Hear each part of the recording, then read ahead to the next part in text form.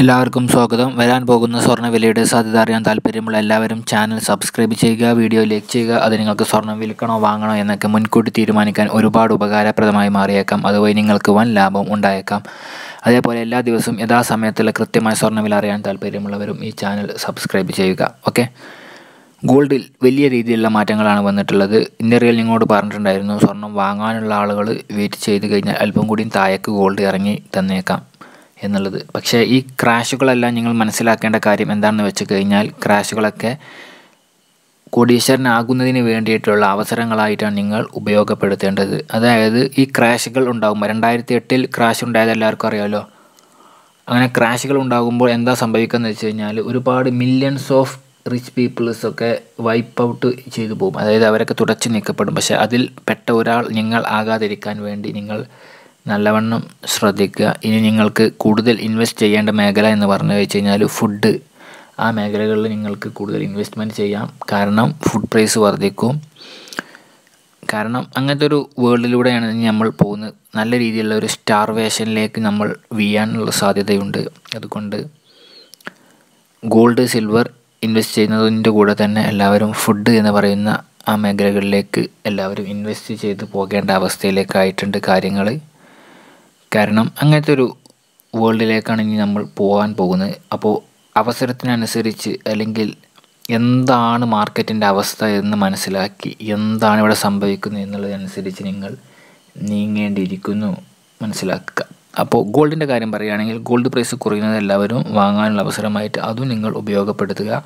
Gold ഇപ്പോൾ വാങ്ങുന്ന സമയവും അല്ല വിൽക്കുന്ന സമയവും അല്ല വിൽക്കുന്ന സമയമേ അല്ല. റിയൽ എസ്റ്റേറ്റിലായാലും ഗോൾഡിലായാലും സിൽവറിലായാലും ബിറ്റ് കോയിനിലായാലും ക്രാഷ് വന്നു. ബട്ട് ബിറ്റ് കോയിൻ ഇന്ത്യറിയലിന്റെ ഈ വാഗുകൊണ്ട് കൊണ്ട് പറഞ്ഞതിൽ ഇന്നറിയലിന് തന്നെ ഇപ്പോൾ ഖേദം തോന്നുന്നു.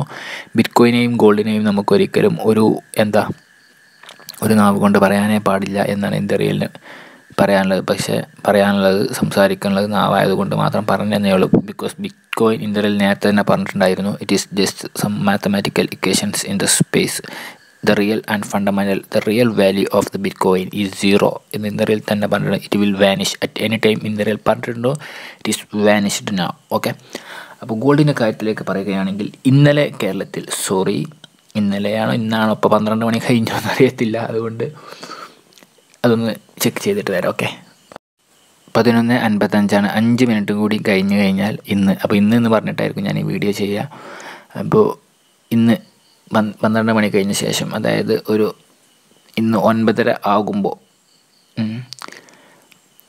ഇന്ന് പതിനൊന്ന് അൻപത്തഞ്ചാണ് ഇപ്പോൾ ഉള്ളത്. അപ്പോൾ ആ പതിനൊന്ന് അൻപത്തഞ്ച് പറയാം. നാളെ കേരളത്തിലെ സ്വർണവിലക്ക് എന്ത് സംഭവിക്കുക എന്നാണ് പറയാൻ പോകുന്നത്. അപ്പോൾ മുപ്പത്തി ഏഴായിരത്തി അറുന്നൂറാണുള്ളത് ഇപ്പോൾ ഈ മുപ്പത്തി ഏഴായിരത്തി അറുന്നൂറിൽ നിന്നും നാളെ ഒരു മുന്നൂറ് രൂപയുടെ അടുത്ത് ഇരുന്നൂറ്റി തൊണ്ണൂറ്റൊമ്പത് റേഞ്ചാണ് അതായത് ഇരുന്നൂറ്റി എൺപത് രൂപ നാളെ കുറഞ്ഞേക്കാവുന്ന നിലയിലൂടെയാണ് വിപണി പോയിക്കൊണ്ടിരിക്കുന്നത്. വീണ്ടും സ്വർണവിലക്ക് തകർച്ചയാണുള്ളത്. ഓക്കെ അവിടെ ചൈന പ്രോബ്ലം ഉണ്ടാ China Taiwan Russia sorry China Taiwan America problem ഉണ്ട്. ഇവിടെ റഷ്യ ഉക്രൈൻ പ്രോബ്ലം ഉണ്ട്. ഇത് വിൽക്കുന്ന സമയം അല്ല ആഗോള വിപണി സ്വർണവില ആയിരത്തി എഴുന്നൂറ്റി പതിമൂന്നിലാണ് ഇപ്പോൾ ഉള്ളത്.